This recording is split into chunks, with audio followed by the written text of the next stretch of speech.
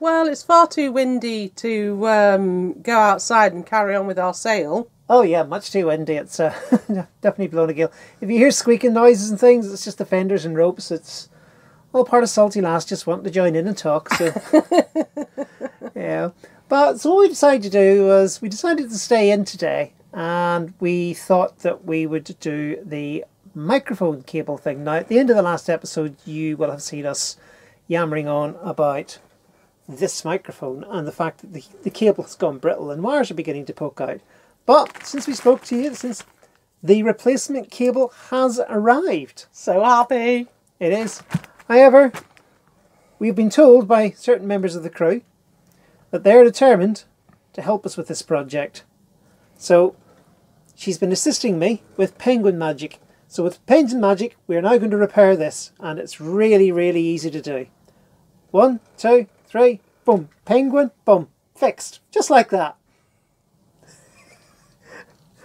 okay, so what really happened was somebody watched the last episode and said, I've got one of those radios and I don't use it anymore. You can have mine.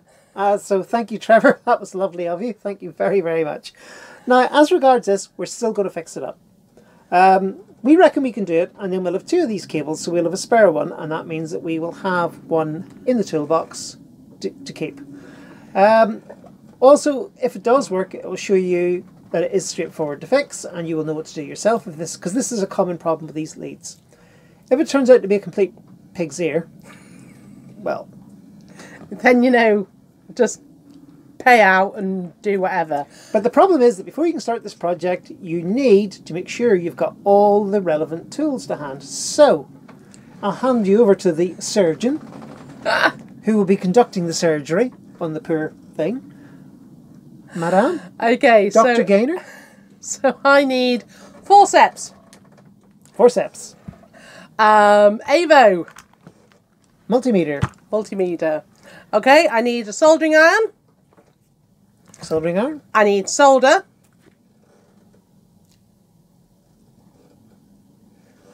Do you know how old this solder is? no idea. It was bought from Maplin. Okay, so, but it still works. Best before 1986. It's- Okay, carry on. I also need some heat shrink, but the problem is, although I have heat shrink, I've got one piece that is bigger than the cable, and really I need something a bit longer for that. You also need something a bit narrower than that. It's really too big. That's too big, so I've got, I've either got stuff that's too small or stuff that's too big, and I need it longer um, for that. So I need to buy some more of that. I also need a solder sucker. Well, there's, Um, there's, there's the bad news. I don't have any.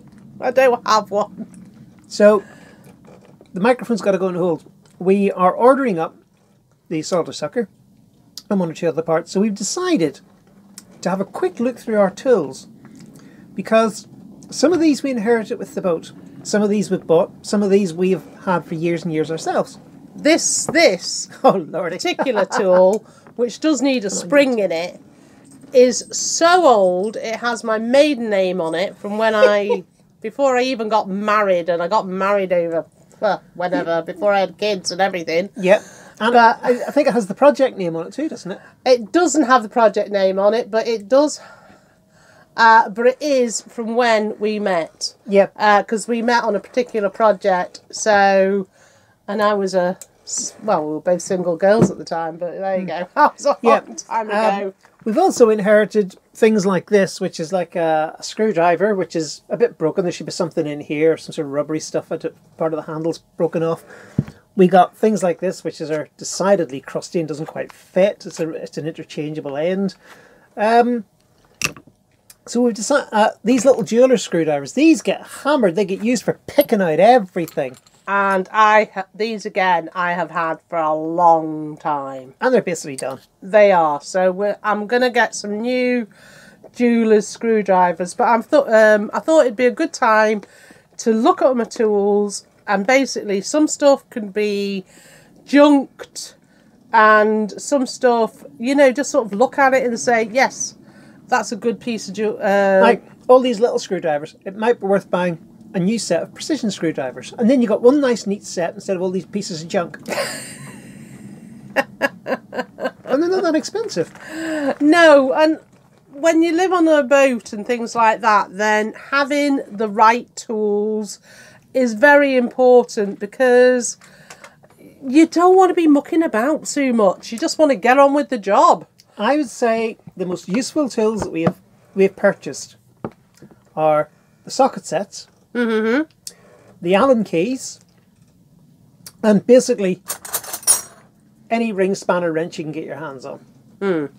The ratchety ones haven't been as useful as we'd hoped because it's got a big, big end. It's hard to get it into some spaces, but when you can get it in, these are good. They are great because obviously you can just put it onto the nut and you're not having to um, take it off and put it back on again. So that's when it's good. But like Bev says, because it's wide, um, you can't get it into a lot of spaces. These are probably one of the most useful things in the boat. The, the vice grips. Uh, just do not leave port without them. Really, if you don't have a pair, go out and bat today. I cannot say often enough, I can't say hard enough, how often these have really saved us in certain jobs. Hmm. These are indispensable.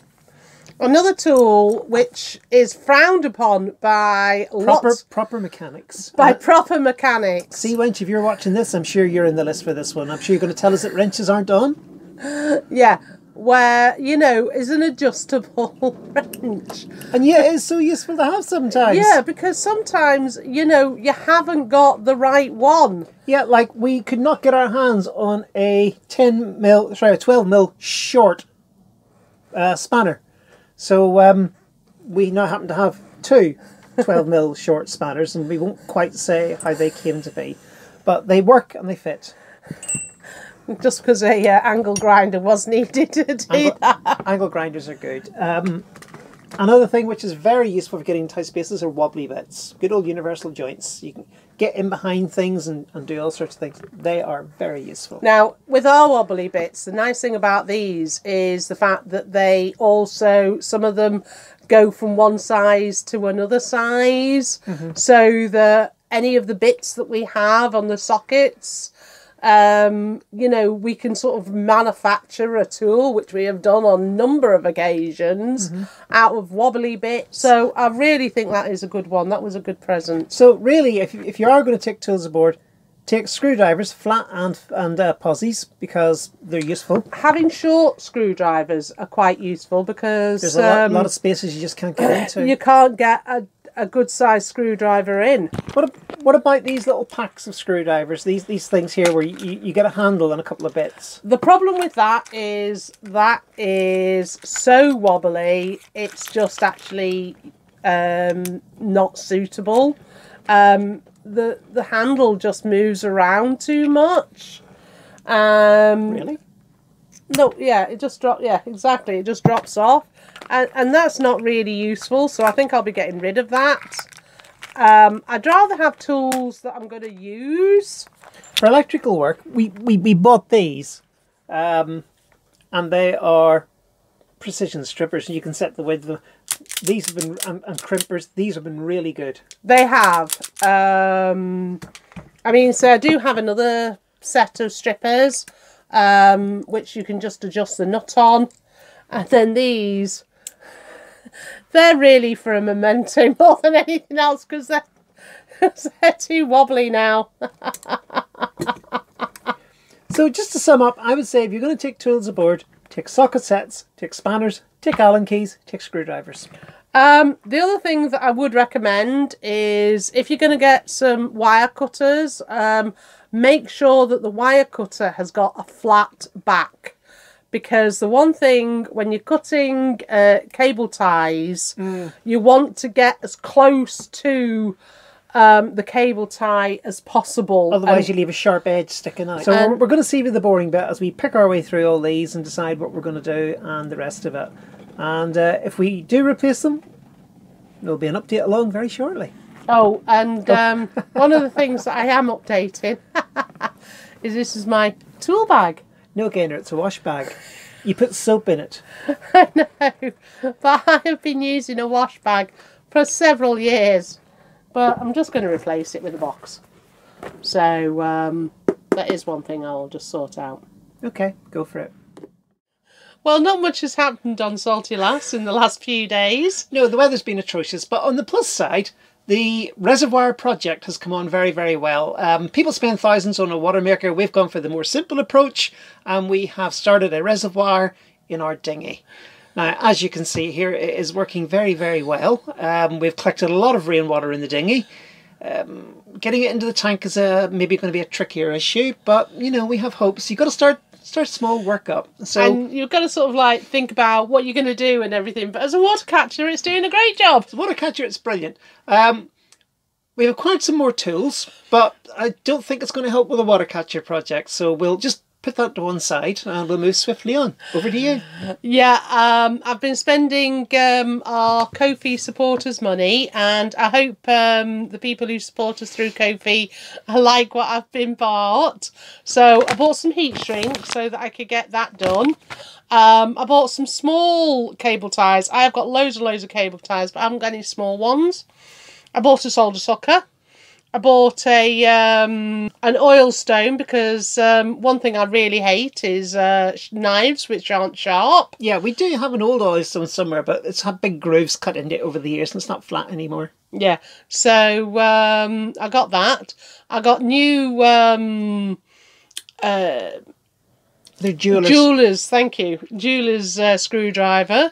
Um, some nicer jewelers screwdrivers, and I've also got some files. well, actually, I grabbed the files because they were there beside this other lamp. I thought, oh, they'll do nicely. uh, because again it's sharpening of knives but knives which are um, got grooves in Yeah, I mean,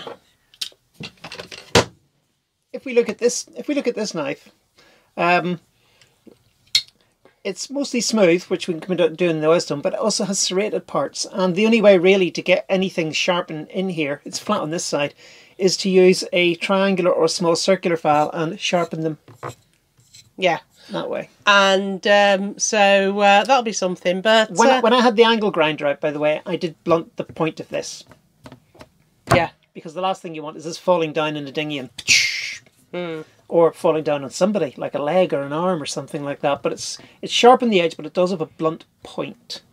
So uh, but yeah. so um, uh, with no more ado let's uh, get this uh, mic sorted.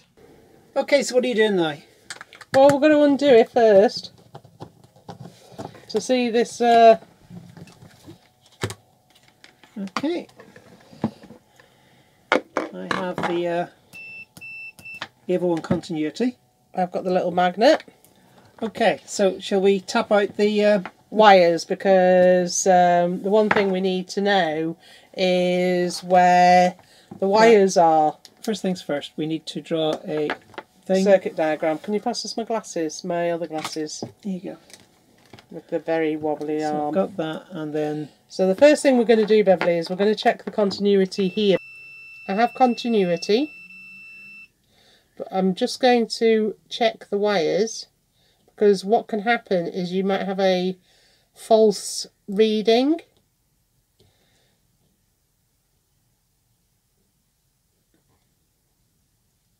None of those wires are connected. you put it on there and I'll go round this might be easier than you Oh, do okay, fair enough. Okay. Pin one. Okay, we've got something there in pin two.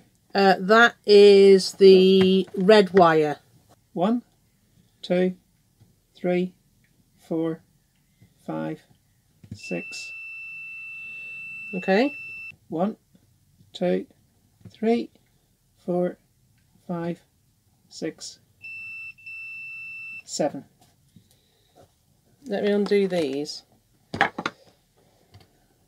Oh, you might need a precision screwdriver. I know, I know, so excited. I might need that. okay, Right, so we've got them all tapped out. We know what one goes right, where. okay, so the ones we want are red, Then put circles around them. okay, white, and the shield. And that's it. Yeah, because don't forget, because look, the black doesn't go on to anything. Red, white, shield. Yeah, the green doesn't go on to anything. The blue doesn't go on to anything, and neither does the orange. You can see on the circuit. Okay, what colour goes in which one? Uh, red, white, shield, And you'll put a diagram of this up on the blog. Of course, Right. um, because um, if we need to do this, um, well, also for people wanting to do it. yes, um, then that's what we need to know. Shall we make a full commitment to this now? Uh, yes. Now, what we've um, got here. Well, the uh, look how bad it's here. Oh, the housing is split. The cable is split. Yeah, that's all split. So I'm just going to cut here because uh, I don't need any of this.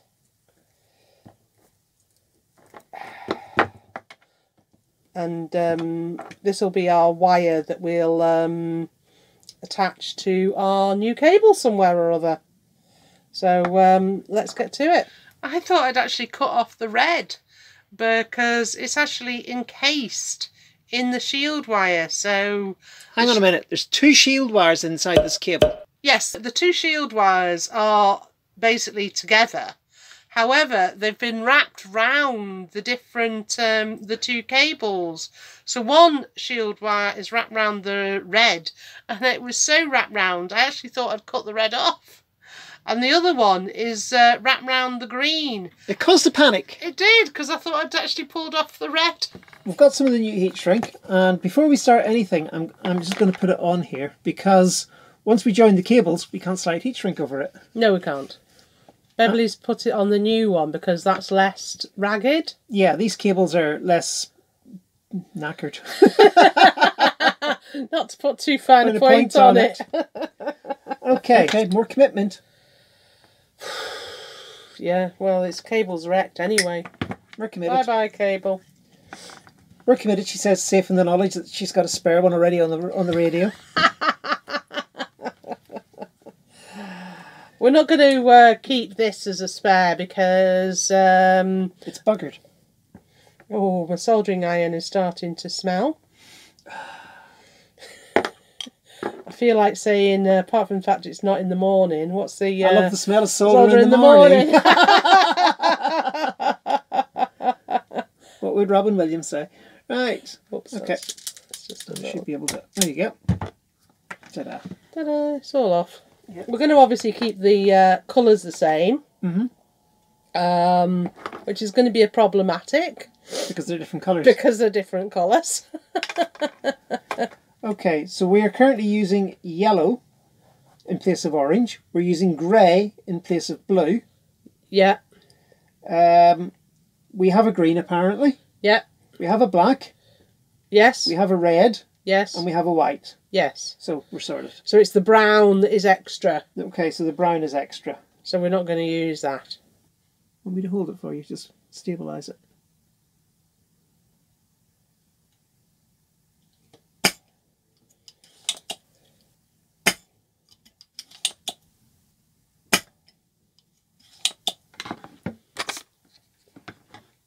Can you see okay? Yeah. You have a dry joint. Okay, let's uh, get. Okay, Just touch it and I'll pull it back down a, a, a little bit or just, just run it in. That's it. Okay. Leave it there, leave it there. That's a good joint. right. Okay, so we've uh, soldered them all in. So what do we do now? Uh, well, basically, I want to um, get this um, screwed into place. Um, I've put a little bit of heat shrink over the shield. We have one uh, brown wire which is extra, so I'm just going to cut that off and um, Leave it. and leave it, pin it back. Yeah. That's all I'm going to do with that. Well, it's done and it's tested and it does work. I have to say, I think we could have uh, made it a bit neater, uh, but realistically, you can hardly see the join. So um, I think uh, we're happy enough. And as a spare, because that's all it is going to be, I think um, it will do. But it was a bit of a beggar to sort it all out. It works, and that's always good. Here, allow me to give you this. Oh, thank you. Last mobile, last mobile. Radio check, please. Radio check complete.